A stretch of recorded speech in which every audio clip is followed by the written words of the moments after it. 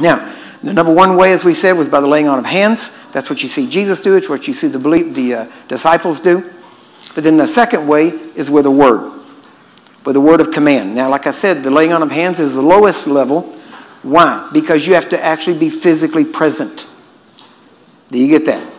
If you have to be physically present, that makes it the lowest level. I can't lay hands on you if you're not physically present. Is that right? The highest level, and the reason we say it's that way because the laying on of hands is actually follows a law that's called the law of contact and transmission. Yeah. Right? So you contact them and you transmit to them. That's the lowest level. Many times that's where uh, some carnal people would be at. Well, this has got to happen. Now, then the next up, as I said, would be a word of command. And that word of command is simply what makes that better is that you don't have to be in their presence. You can speak it at a distance. Uh, even, you know, we even use telephones to call and talk to people, but that's almost like in their presence. But then you can also speak and command. Jesus with the Roman centurion servant. The, the, the centurion was there, but the servant wasn't.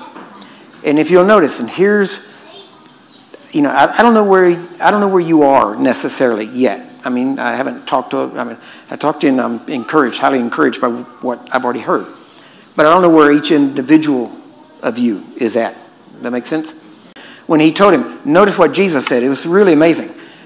After he said, I have not found this kind of faith in you guys, you know, to the Israelites, he said, when he turned back to the Roman centurion, he said, Go your way as you have believed.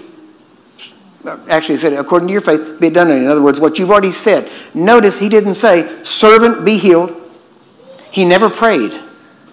Do you get that? I'm trying to get you to stretch. Don't think it's a formula prayer.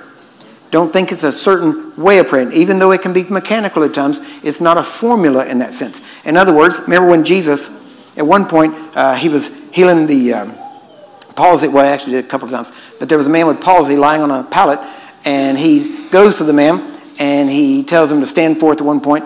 And so, oh, actually, before that, that was the guy with the withered arm.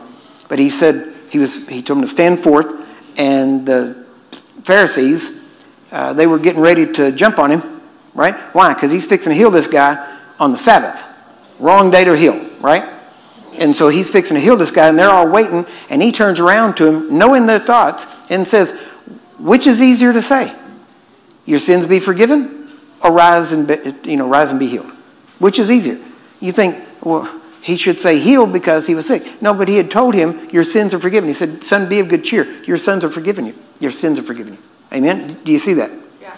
So, what does it matter? Does it matter which statement? Okay, let me put it this way.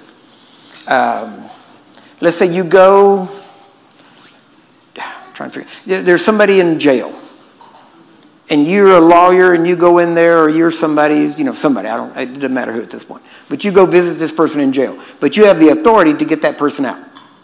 So you go in there and you talk to this person. Now you got a guy with you there that has the keys. You're talking to this person and you decide not to whatever, press charges or whatever it is. And you say, now, does it matter if you say, all right, get him out of here? Or is it okay to say, uh, let him go? Uh, is it okay to say, all right, set him free. All three different statements, right? But the same intent.